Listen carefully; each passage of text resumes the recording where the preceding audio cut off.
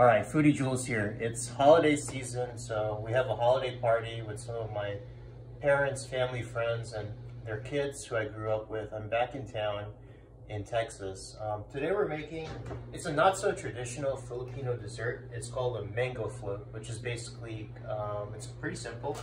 I have here four cups or about one quart. I don't, I'll post what that is in metric in my comments of heavy whipping cream with two teaspoons of vanilla, whipped with 10 ounces of sweetened condensed milk. I have several sachets of graham crackers. The recipe called for, I think, 21. Uh, we'll eyeball what we need. We have some freshly cut mangoes that we cubed up.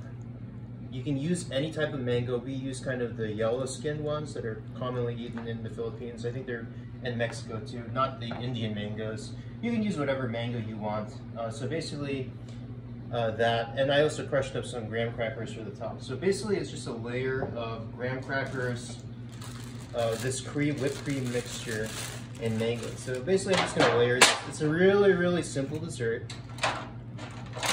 So just gonna layer the graham crackers here. No baking, no oven. This is perfect if you live um, in a small apartment or a big house. You don't need an oven. You just need a refrigerator. That's kind of the key. But assuming uh, you live in an apartment and have a refrigerator, it's pretty pretty straightforward a recipe. So we're just layering the graham crackers here. Um, and basically you're just gonna repeat these layers, graham cracker first, followed by a little bit of the cream mixture.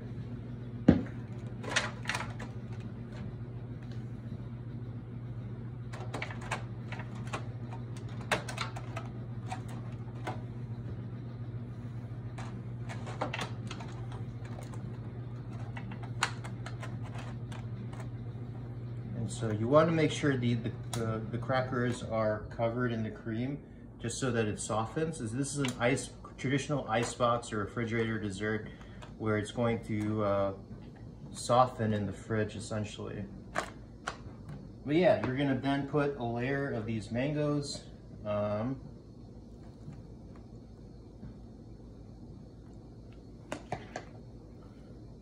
put some mangoes here. So apparently the origin of this dish were when there were mango surpluses in the Philippines, people would make this kind of as a dessert. Um, in the Philippines, right, it's not so easy to get heavy whipping cream. I think they use uh, shelf-stable uh, shelf-stable table cream uh, that's similar to, I think you can get it in Hispanic grocery stores here. It's not so common here in the States.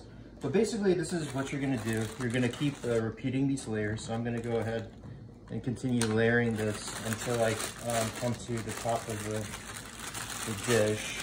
Let me just open these graham crackers as so.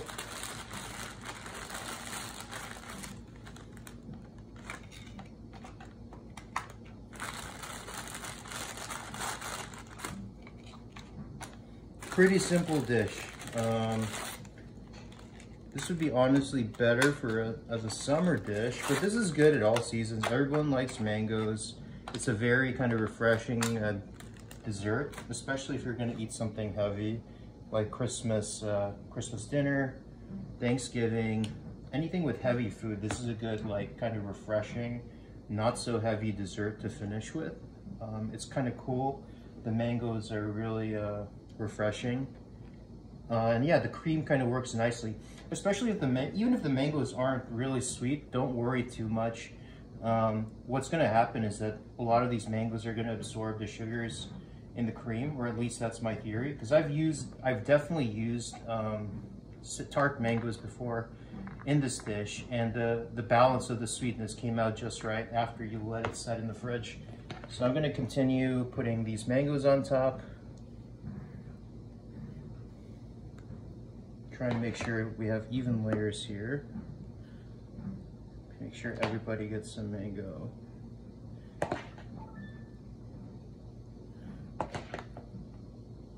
You can plus this up if you have mango syrup that they commonly use in the bubble tea shops. It'll make it much sweeter though. I haven't tried it with mango syrup, but that's one idea I do want to try one of these days. Um, but the balance of sweetness is just right, as is with, that, with just the mangoes. You don't need additional sugar because there's already 10 ounces of condensed milk in and 10 ounces of condensed milk in this dish. Um, I think we're kind of converging on the final layer here, so I'll see what I can do here to make sure I get even coverage.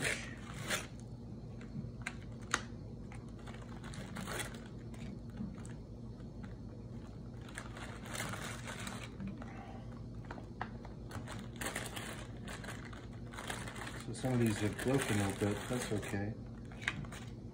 It's okay if they're broken. We'll make do with what we have. Um, go ahead and continue covering this.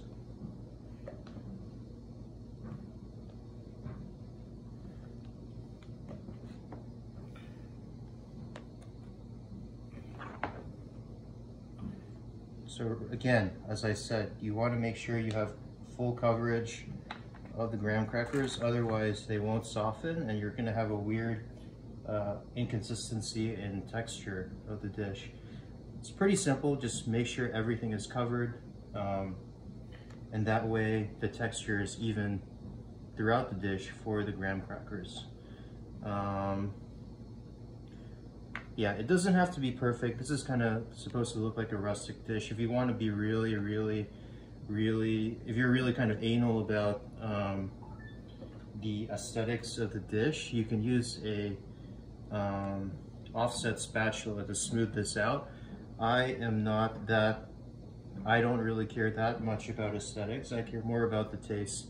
Um, I guess if you're a baker, you probably care more about the aesthetics. I'm not so much of a baker as I am a cook. But I do like desserts. I have to say I like desserts. So we're kind of converging on the last layer. Going to top it off with the remaining mango, trying to get an even spread of what's left. We do have some leftover cream, which probably we could use for some other purposes. Honestly, this whipped cream, uh, this homemade whipped cream tastes great just on fresh fruit by itself. Um, it's just a really refreshing kind of whipped cream. Um, let's get every last drop of mango, every last bit so we don't waste anything. Drop the little bit there. And now we're just gonna sprinkle some of these graham crackers on top. I'm gonna grab out a spoon from my drawer. This just gives a little more aesthetics. You don't have to do this, but it kind of it kind of similar to you know what you do on a tiramisu when you put the chocolate powder on top. Um, just for aesthetics. And of course, after you put these in a fridge for a long time, these are going to soften up nicely, so it won't be uh, hard.